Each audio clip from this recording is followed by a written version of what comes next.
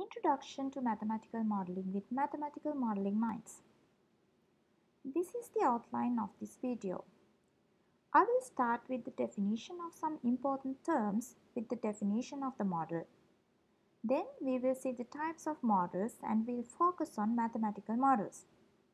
There are several stages in a modeling process and I am going to brief you the processes with a simple example. So what is a model? In order to define the model, I will define the system and the experiments. A system is an object or collection of objects whose properties we want to study and an experiment is the process of extracting information from a system by exercising its inputs. Therefore, we can define a model of a system as anything an experiment can be applied to in order to answer questions about that system. This implies that a model can be used to answer questions about a system without doing experiments on the real system. Instead, we can perform experiments on the model. So, we can consider the model as a simplified system that has the properties of the real system. So, what we call a simulation is an experiment performed on the model. There are different types of models available for analyzing purposes such as physical models, analog models, schematic models, drawings or maps, and mathematical models. Physical models are physical objects that mimic some properties of the real system. For example, laboratory models pilot plants and full-scale models. Analog models model the target system by another more understandable or analyzable system. For example, representing the building heat dynamics using a resistance capacitor network models. Schematic models represent the element of a system using graphic symbols rather than realistic pictures. Process drawings and maps give a picture of which process units a system is composed of and where each physical equipment is located. Finally, mathematical models consist of equations such as ordinary and partial differential equations, integral equations, and algebraic equations, which describe the behavior of a system. For most of the time, this is an idealized system. So after this point, I will restrict the video to the mathematical models. So now onwards, when I say a model, it is a mathematical model. We can specify mathematical models in different ways. Based on the modeling principle, which we creates the relation between inputs and outputs we can divide models into either physical, data-driven or gray box models.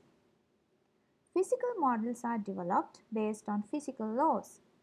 Data-driven models are based on the observations and gray box models are a combination of those.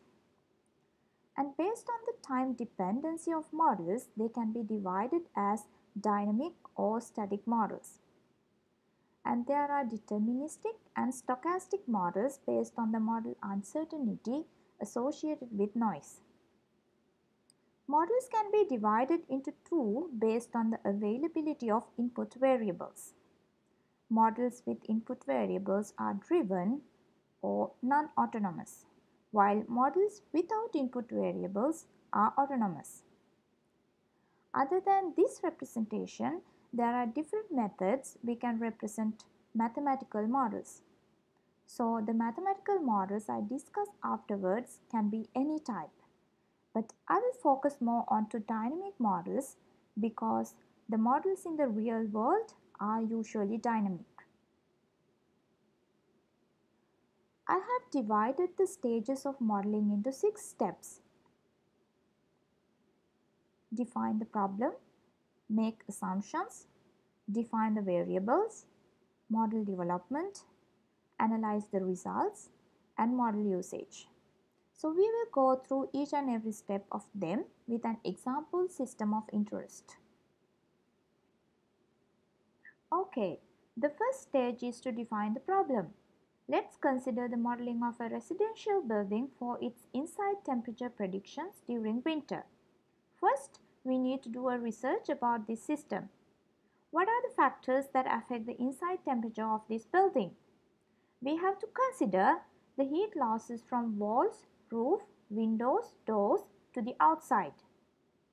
Heat losses from ground floor to the earth. Ventilation heat losses thermal mass of the building and furniture, heat generation from heaters, electrical equipments and people, internal air exchange and solar irradiation. It is necessary to dig into the details of each process and understand how they affect the inside temperature of the building. Next, we can make assumptions to simplify the system. When ventilated spaces are modeled, it is necessary to consider the density of air inside the system. If the moist air is considered as an ideal gas, it is easy to model the air density of the system. And also, when calculating the heat capacities of the air, ideal gas assumption helps. And if the air is perfectly mixed inside this control volume, we can assume that the properties such as temperature and density are not dependent on the location of the building. They are only time dependent.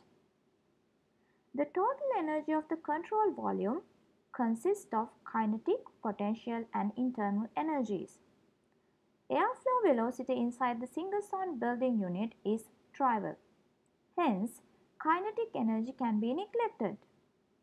The potential energy of the system is also of minor importance. So it is possible to model only the internal energy term. We can assume that wall, roof, floor temperatures are uniform for easy modeling. Next, we will see different types of variables encountered in this modeling process. Independent variables are the inputs to the system. For example, airflow rate and heat flow into the building. Dependent variables represent the output or outcome resulting from altering these inputs. We usually study the variation of dependent variables and here it is the inside temperature of the building. In order to define a model, it is necessary to define the parameters or constants of this system. In this example, there are many parameters including wall thicknesses, heat transfer coefficients and so on. The mathematical model development process could be done in different ways. We are very familiar with the manual mathematical model development using mathematics and physical laws. Automatic model development is a computer-aided modeling methodology and it is with minimized intervention of the human factor. Maybe we should refer to this as semi-automatic process because at some point humans are involved in model development. We are not going to further discuss about automatic model development but about manual modeling processes. So, after the development of the model, what we need to do is to analyze the results. We need to check whether the model gives reasonable predictions. Also, it is possible to check the model sensitivity to different parameters. Mathematical models can be used to compute the relation between inputs and outputs. In the design phase of a system, it is common to define the output specifications where a model can be used. Also, these models can be used to monitor a system in the sense of determining the order and to detect the faults. Analysis of a system or a process can also be done using mathematical models. Mathematical models are used in predicting and forecasting to examine the output variables if input variables are changed. For example, when the outside temperature is changed, how the inside temperature of a building is affected. Finally, the models can be used to design the control systems in order to automatically adjust the input variables to achieve specified goals of output variables. Here is the summary of this video presentation. We first looked into the question what is a model. Then we talked about types of models and among them we restricted our talk to mathematical models and we talked about the stages of mathematical modeling with a simple example. And these are some references I used in preparing this presentation. I hope you understood this introductory video session about mathematical models. If you have any questions or concerns over the content of this video, please leave a comment. If you really like the video, give thumbs up and subscribe for the channel and press the bell icon for new video notifications. Thank you for listening.